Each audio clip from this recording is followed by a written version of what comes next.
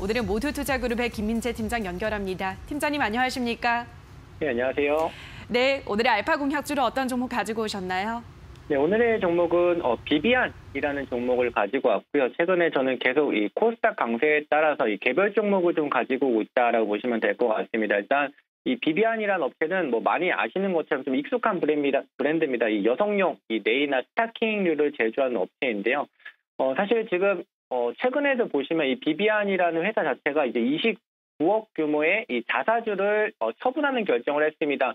보통 증시에서는 이렇게 자사주를 처분하게 되면 어, 기존 주, 어, 가 가치가 상승한다라는 부분이 있기 때문에 어, 호재로 볼 수가 있고요. 그 추가적으로 어, 실적입니다. 코로나 원래 사실 뭐 그렇게 크게 실적이 좋아지는 종목은 아니지만 이번 국제질병 이슈에 있었을 때 오히려 손실 규모를 축소하면서 즉 실적을 조금 조금씩 개선해 나가고 있기 때문에 현재 주가가 가장 바닥권에 위치한 상태에서 이제 바닥을 좀 치고 올라갈 수 있는 상황이 조성이 되고 있는 실적이다라고 보시면 될 것 같고요.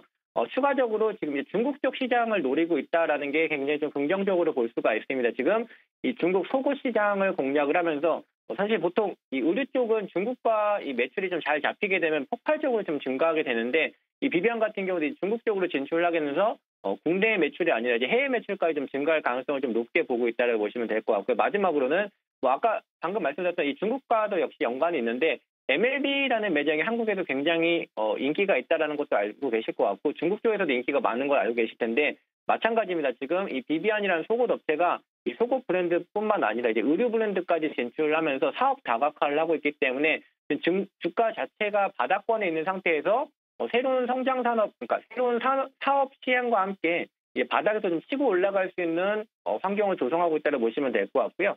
어, 차트를 보면서 차트를 보면서 목표가와 손절가 제시해드리도록 하겠습니다. 일단 목표가는 현재 구간에서 단순하게 그냥 10% 구간을 잡아드렸다라고 보시면 될 것 같고요.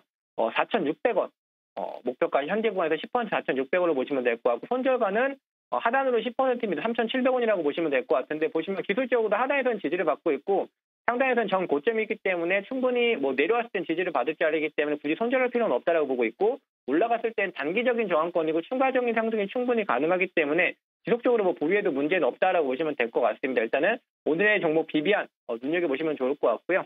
어, 한번 관심 종목에 놓고 어, 지켜보시면 좋겠습니다. 네, 오늘의 알파 공약주로 비비안 소개해 주셨습니다. 오늘은 김민재 팀장과 함께했습니다. 팀장님 고맙습니다. 네, 감사합니다.